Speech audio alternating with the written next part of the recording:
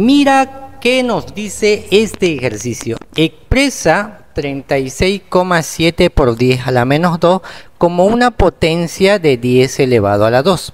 Entonces, ¿qué es lo que yo tengo que hacer? O sea, este exponente que está como 10 a la menos 2, tengo que transformarlo en exponente de 10 a la 2.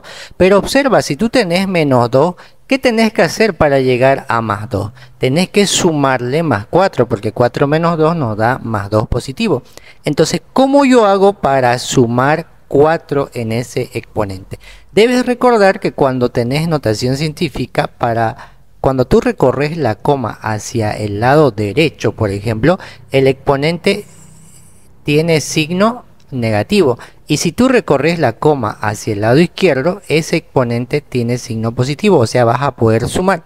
Entonces, en este caso, de ese 36,7, para transformarlo en 10 a la 2, fíjate que aquí estaba la coma y era menos 2. Vamos a recorrer hacia la izquierda cuatro lugares. 1, 2, 3, 4 lugares y ahí va a aparecerme la coma.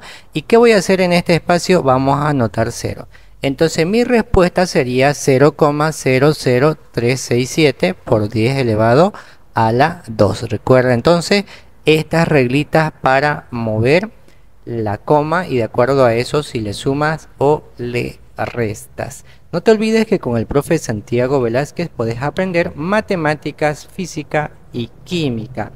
No te olvides visitar la lista de reproducción en mi canal de YouTube, profe Santiago Velázquez. Manitos para arriba, nos vemos en el siguiente video.